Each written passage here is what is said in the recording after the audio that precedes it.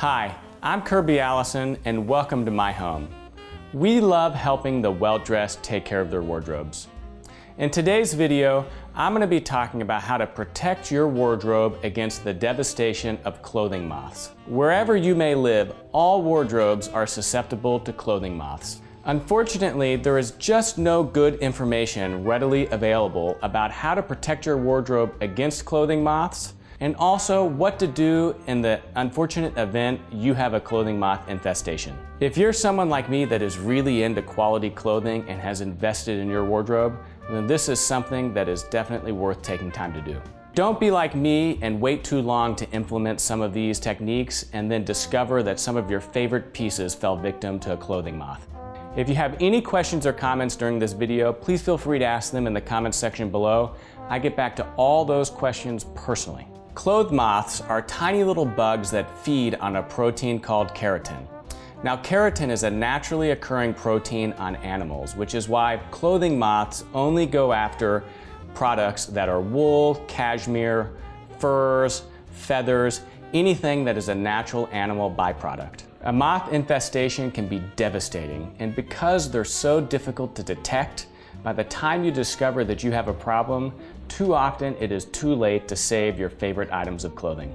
There are two types of clothing moths. Case-making moths, which pulpate on what they are infesting, so if they are attacking a red jacket, their cocoon will be red. These moths are easier to detect because they are more easily spotted. Webbing moths, on the other hand, are the most difficult to detect because they pulpate in what they are infesting. The total life cycle of a moth from egg to adult is about 30 days. So if you haven't detected any clothing moths for a 30-day period, you can be confident that you don't have an infestation at that moment. Anyone with a significant wardrobe should take proactive steps in protecting their wardrobe against clothing moths. Moth prevention can really be thought of in three basic categories.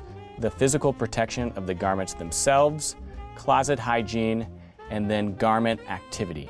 This needs to be paired with a professional moth detection solution to quickly identify problems if they do occur. First is physical protection. Items that you wear frequently, say more than once a month, aren't going to be something that are going to fall victim to clothing moths.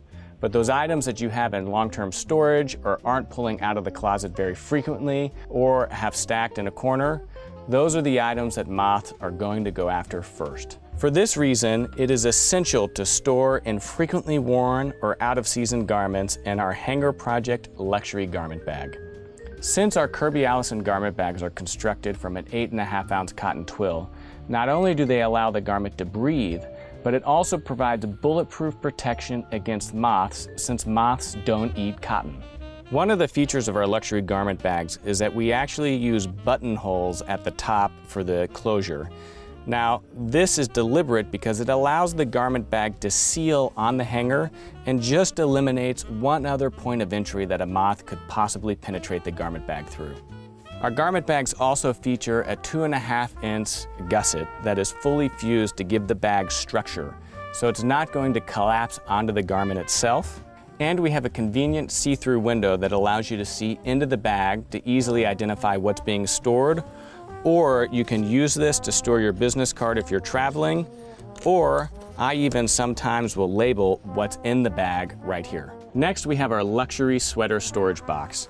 This box is constructed from a thick cardboard. Now, sweater boxes aren't bulletproof protection, but if you're really good about making sure they're sealed or maybe have a few things sitting on top of them, then the side barrier is going to seal against the lid and provide a nice barrier.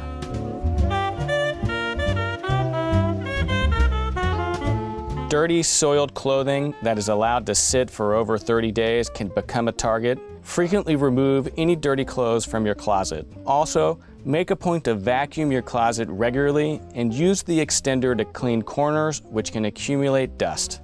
And it might be a touch extreme to even have a hospital-grade HEPA air filter in my closet, but anything I can do to keep the environment as clean as possible is going to help provide that added protection against clothes moths.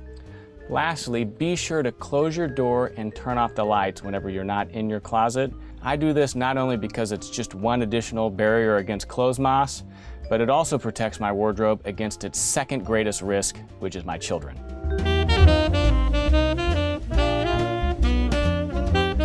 And lastly, you can protect your wardrobe just by actively rotating and wearing your wardrobe. Moths are very fragile, and so any garment that you're wearing frequently, you're not gonna have to worry about. And so I suggest any item that you're not wearing frequently, but you don't have in a garment storage bag, pull that out of your closet and just shake it every once in a while to just provide a little bit of movement. And this is our new Kirby Allison Sovereign Grade Ebony Garment Brush. And you can use this to just brush the fabric to, again, get anything that might be on top of that fabric off. And despite even your best efforts, a moth infestation can still occur. That's why it's critical to also actively monitor for moths using a moth trap. Here at Kirby Allison's Hanger Project, we sell a professional grade moth trap from Insects Limited. This is the same moth trap that a professional exterminator would be using, and we make this available to you through our website. Now this uses a professional grade pheromone, which is essentially the same type of pheromone you read in the back of Esquire magazine that's going to attract clothing moths. Now what's incredible about this quality and grade of pheromone is that the moths will actually travel up to 25 to 30 feet to come to this. It is essential to have a moth trap in your closet to proactively detect moth problems as soon as possible. The longer they go undetected, the more damage they cause. The pheromones in our moth traps are effective for up to 90 days. So you want to make sure you write the date that you opened the pheromones on the moth trap itself so you can ensure that you're rotating these properly. Place them in a dark, far corner of your closet, the type of corner that's most susceptible to moths. And of course, make sure you don't forget to check your moth trap frequently so that you can see if you have any moths on the trap itself. I recently ran into a moth problem and I was in denial as I saw moths flying out of my closet that I actually had a problem. Had I been using a moth trap, I would have known immediately that these were in fact clothing moths that were eating one of my favorite jackets. One of the most frustrating things for me was how difficult it was to find readily available and practical information about how to treat a moth infestation in a large closet. So if you're bringing anything into your closet that has been stored somewhere else or you don't know where it's been, always inspect that piece for moth eggs or larvae. If you want to be completely sure, Either steam that garment, which will immediately kill the moth regardless at what life stage it's in, or treat it with heat treatment. Our ZappBug heaters are essentially an insulated oven that you can put tremendous amounts of clothing in, zip closed, turn on the heaters, elevate that temperature to above 130 degrees Fahrenheit, hold it there for 30 minutes, and you can be confident that you're killing absolutely any clothes moths that's anywhere in there. And of course, dry cleaning will absolutely kill anything that might be on that garment.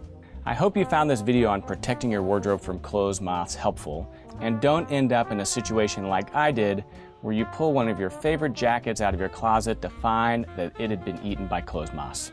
If you have any questions about anything I discussed in this video or any products we recommended, please feel free to ask them in the comments section below. I get back to all those questions personally. If you like this video, give us the thumbs up, or better yet, subscribe to our channel and turn on notifications by clicking the bell so that you can learn whenever we release new videos.